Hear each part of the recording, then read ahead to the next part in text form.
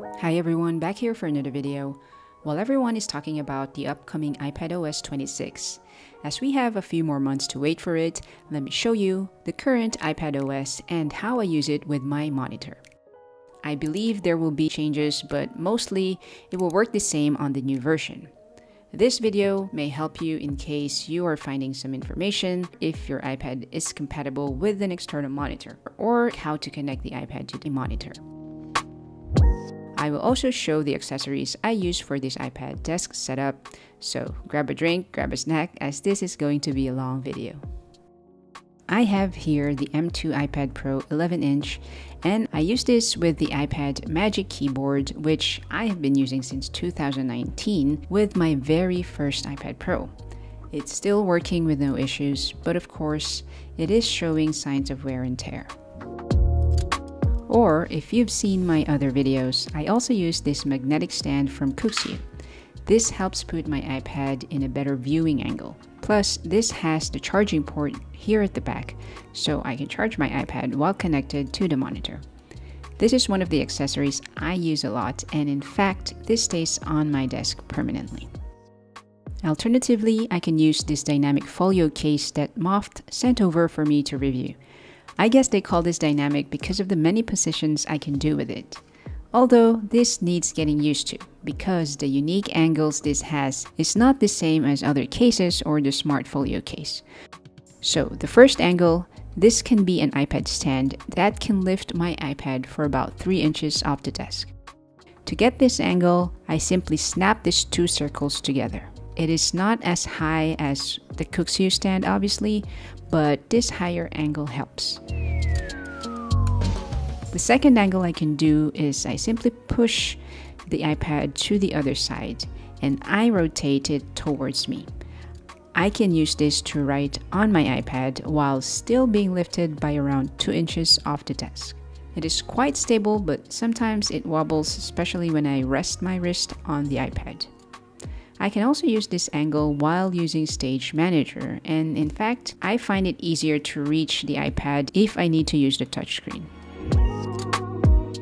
The third angle is for portrait mode, where I can lift out the magnetic snap at the back and attach the part of the cover. Then my iPad can be in this reading angle. It is a good angle if I need to read books or PDF files I just hope though there's a lower angle which I can use to write in portrait mode.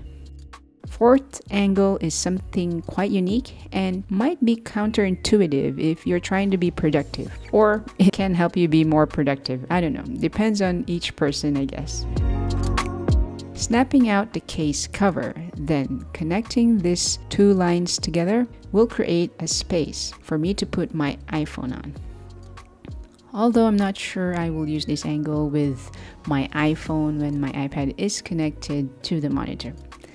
This position will be awesome if only the iPad and iPhone can work like my Samsung devices. I suggest you watch my video where I showed my Samsung tablet and my Samsung phone, which can work together with just one keyboard and mouse. Moft sent also the magnetic pencil holder. This secures my Apple Pencil and it stays in place as long as I put it in the right way.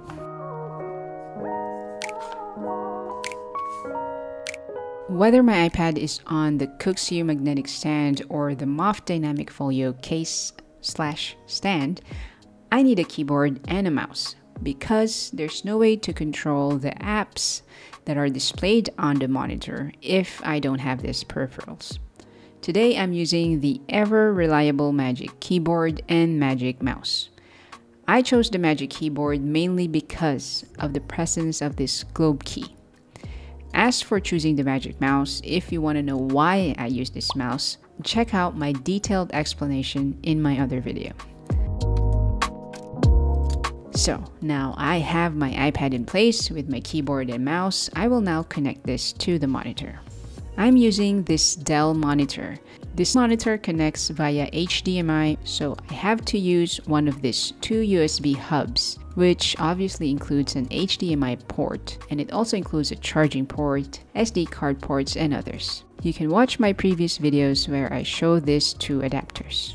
Both these adapters support up to 4K and up to 60 Hz display. So if you have a 4K monitor and cable that supports 4K, you should get an output to your external monitor in 4K as well. This Dell monitor has a resolution of 2560 by 1440 with a 60 Hz refresh rate.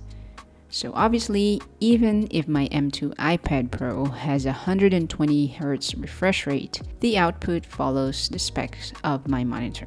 Once I connect the USB-C adapter to my iPad, Stage Manager now automatically turns on. But if you get a mirror display or your mouse is not moving to the correct side where your iPad is positioned, then go to the display and brightness settings.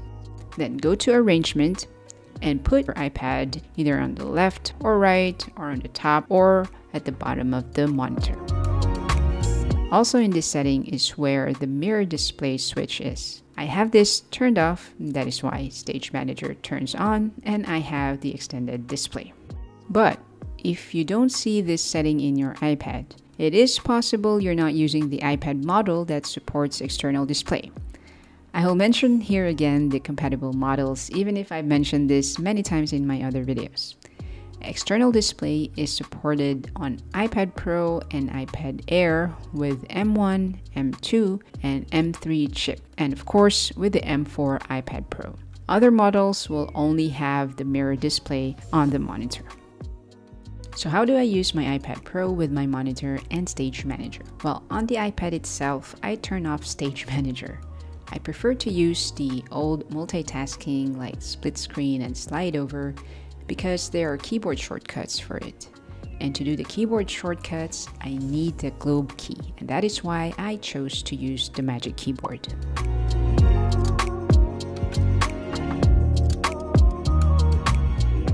On the monitor, I use Stage Manager because there's no choice.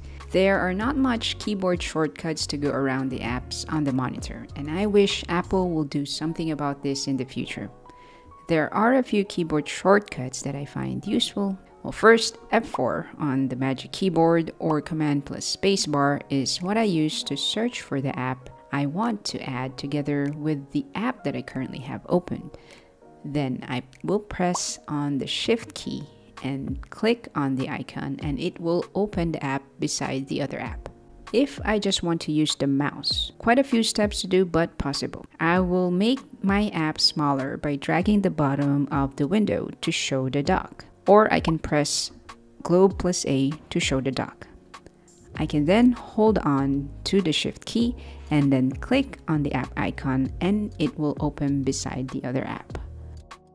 Next useful keyboard shortcut, press Ctrl, the globe key and backslash and this will move the app from the monitor to the iPad and vice versa. Or I can use the mouse, but this requires Stage Manager to be switched on in the iPad display itself. Then I can drag the top of the app from the monitor to the iPad and vice versa. Next shortcut is the globe and the arrow up key, and this will show the app switcher. In one stage, I can have a maximum of four apps. So this means it won't let me open a fifth app. If I try to do that, it will kick one app out of the stage, which usually will be the first open app. For apps that support multi windows, for example Safari, I can open four Safari windows at the same time. But in one window, I can have as many tabs as I want. I tested this before and I opened like 132 tabs and I can still keep going. I can drag the sides of the apps to manually resize it. And so far, there are no keyboard shortcuts to resize windows. And again, I hope Apple will make this available in future iPadOS updates. Same keyboard shortcuts that we have on Mac or in Windows or even on Android tablets. If I want to show the recent apps, I simply drag my mouse on the left side of the monitor, or I can keep the recent apps showing on the screen. To do this, I have to go to the iPad settings, then multitasking and gestures, go to the external display, and turn on or turn off recent apps. Just note that even if I have the recent apps switched on, if I have an app displayed in full screen or almost in full screen, the recent apps will be automatically hidden. Once I make the app smaller, that is when the recent apps will persistently show on the left side, whether on the iPad display or on the monitor. Let me end by answering some questions I got from my previous videos, like how is screen sharing during meetings with iPad when using Stage Manager? So, in FaceTime and in Zoom, only the iPad screen can be shared, and there's no option to choose the external monitor. So, I guess it will be the same in Microsoft Teams meeting. Another question is if I can write on the iPad while connected to the monitor. And yes, that is possible. I can use my iPad in writing mode and do something else on the monitor, like watching a video. Not a question, but I just want to mention that I like editing on this big screen. LumaFusion can go on full screen mode, or I can use the LumaFusion external preview option and keep the video on the external monitor while keeping the timeline on the iPad. A lot of information, and I hope you find it useful. If you have any questions, comment below, and I will do my best to find the answer. If you have any tips to share about how you use your iPad with an external monitor, share them in the comments section. And that's it. Thanks for watching.